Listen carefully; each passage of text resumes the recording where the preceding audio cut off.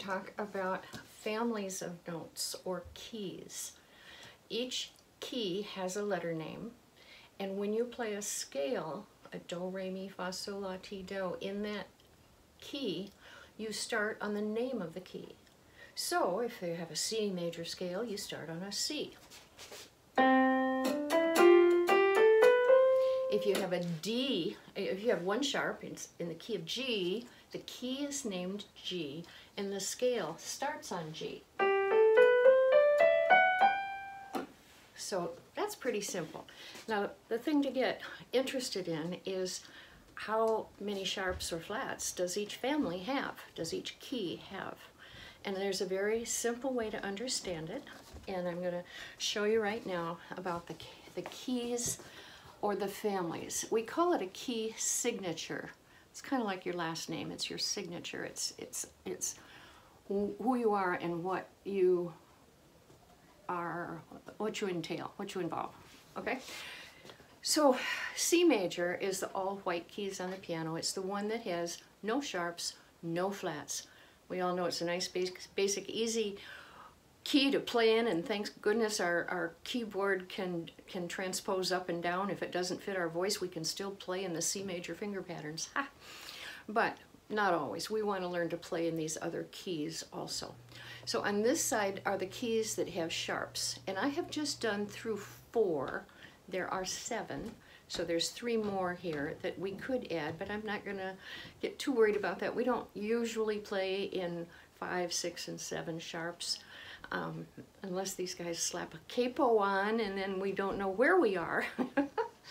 but if you have one sharp, it's F sharp, and you are in the key of G major. If you have two sharps, it's F sharp and C sharp, and you're in the key of D major. F sharp, C sharp, G sharp is the key of A major. The capital M always means major. F sharp, C sharp, G sharp, D sharp, the key of E major. Now, that looks like a lot to remember, but let me show you a secret. You're to love this. All right, if you're on F sharp and you go up a half step, you get to G. If you think of it on the piano where, where an F sharp is, it's a black key. So you go to the next white key and it's G. Oh, the name of the key. Hmm, let's try it again. You have F sharp and C sharp. If you go up a half step from this sharp, the last sharp in the row, half step up from C sharp is what? D. So you're in D major. It works all the way through. You can have seven of these, F sharp, C sharp, G sharp, D sharp, A sharp, E sharp, and it'll tell you just going up a half step from that note will be the name of your key. So let's try it again. F sharp, C sharp, G sharp, D sharp. Find the D on your instrument, make it sharp, and then go up a half step from that, and you will get E, E major. Now in flats, it's a little bit different. A little bit different, but it's still a nice, easy formula. The only thing the formula doesn't work for is the first one. If you have one flat, it's always going to be B flat. And I just tell you, you got to remember that. There's just no quick, easy formula for it. But after that, if you have B flat and E flat, it's the key of B flat. Oh, here's the E flat. I went back one, and that's the name of the key. Let's look at this one. B flat, E flat, A flat. I go back one, and that's the name of the key. It's E flat major. B flat, E flat, A flat. In the key signature tells you you're going to play a scale starting on E flat. A flat major, B flat, E flat, A flat, D flat. Go back one. The name of the scale, or the name of the key, is this this flat before. So like I said, with B flat, there's nothing before it, so it doesn't work. But you just need to remember, one flat is F major. That's easy, right? Okay, so that's how we figure out what key something is in. Now be careful, because you know, you can look at the first part of your song, and it might start with a, uh, a G, G chord, and you think, oh, we must be in the key of G. Not necessarily. You'll need to look at what other chords are in that song to sort of confirm what key or what family of notes you're playing in, what sharps and what flats you have to play if you're on a piano or if you're playing lead guitar. If you're playing the melody on the guitar, then you need to know about sharps and flats. If you're playing the chords, it's not as important, but it sure helps in communicating with the other musicians to know what you're, what key you're in. Okay, so don't just look at the first chord. However, many times you can look at the last chord, and that's generally the key's name. It's just most of the time, okay?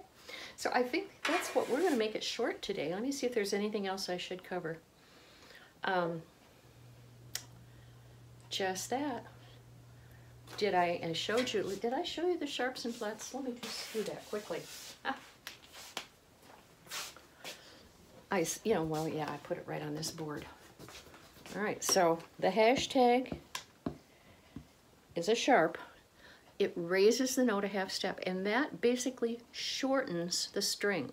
Whether you're on a guitar, a piano, if you play a wind instrument like a flute, you're instead of shortening the string, you're shortening the tube of air. You know how a flute's long? So as she puts fingers down on her flute, it shortens the tube of air that she's blowing into and therefore makes it higher. The shorter string, the shorter tube of air is a higher note. The flat lengthens the string on a, on a guitar, if you're going to flat a note, you go back towards your pegs, toward where you tighten your strings. You go toward the end of the neck, not the body of the guitar. Okay, on the piano, you go down to the left if you're flatting a note. And it makes the string or the tube of air longer. Like a trombone player, he's got to have a really long arm to play the low notes, wah, down there. But his high notes are up here, where he shortens the tube of air that he's blowing through. That's why trumpets have all those curly circles full of tubes of air and the, the valves where they shorten them. If you look at a trumpet, it's got three valves. And depending on the combination of valves, you either lengthen or shorten the tube of air.